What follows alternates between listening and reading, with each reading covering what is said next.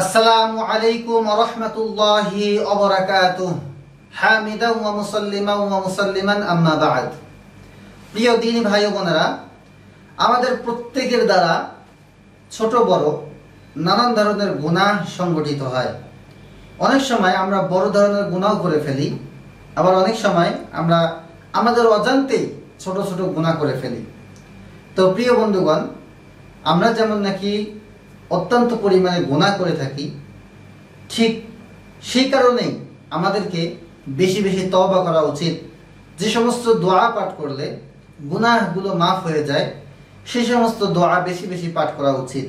কারণ এই সমস্ত গুনার পাহাড় নিয়ে যদি আমরা কবরে যাই, তাহলে আমাদের পরিণতি খুবই খারাপ হয়ে যাবে। আমরা অত্যন্ত সমস্যার মধ্যে পড়ে যাব। তো বন্ধুগণ, আজকে এমন একটি দোয়া আপনাদেরকে শিখিয়ে দেব। যে দোয়াটি পাঠ করলে আপনাদের গুনাহ মাফ হয়ে যাবে, শুধু তাই নয়, আল্লাহ তালা আপনাকে সৎকর্মশীলদের সঙ্গে মৃত্যুবরণ করার সৌভাগ্য দান করবেন ইনশাআল্লাহ।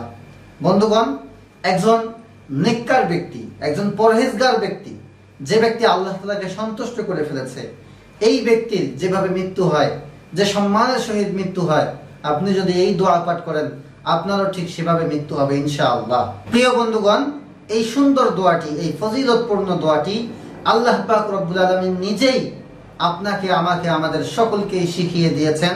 সুরে আলী ইমরানের একশো তিরানব্বই নম্বর আয়াতে। দোয়াটি হলো ربنا فاغفر لنا ذنوبنا وكفر عنا سيئاتنا وتوفنا مع الأبرار প্রিয় বন্ধুগণ আমি আপনাদের সুবিধার্থে দোয়াটি আবারও বলছি এবং বাংলায় স্ক্রিনে লিখে দেব আপনারা দেখে দেখে দোয়াটি মুখস্থ করে নিতে পারেন দোয়াটি হলো ربنا فاغفر لنا ذنوبنا وكفر عنا سيئاتنا وتوفنا مع الأبرار প্রিয় বন্ধুগণ আপনারা যারা আরবি একদমই পড়তে জানেন না তাদের জন্য আমি দোয়াটি একটু ভেঙে ভেঙে বলছি যাতে করে আপনাদের পড়তে সুবিধা হয় রব্বানা ফাগফির লানা যুনুবানা ربنا فاغفر لنا ذنوبنا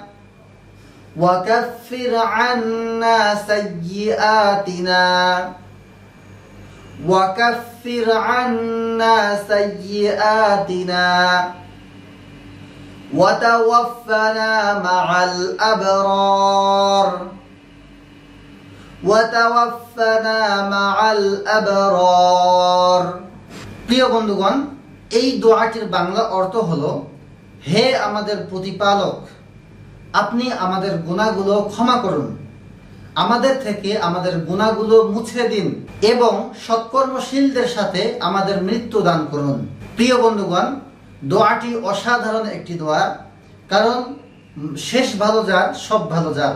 আমাদের মৃত্যুটা যদি ভালোভাবে হয়, তাহলে আমরা কবরের জিন্দিগিতে অনেক সুখ শান্তিতে থাকতে পারব। এজন্য অবশ্যই আপনার আমার, আমাদের সকলের এই দোয়াটি বেশি বেশি পাঠ করা উচিত। প্রিয় বন্ধুগণ, মুনাজাতের সময় আপনি যখন অন্যান্য দোয়াগুলো পড়েন, সেই সময় অবশ্যই অবশ্যই এই দোয়াটি পাঠ করবেন। এই দোয়াটি পাঠ করতে ভুলবেন না।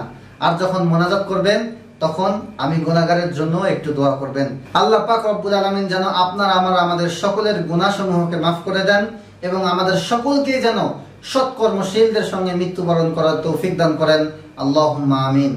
مولاي صل وسلم دائما ابدا على حبيبك خير الخلق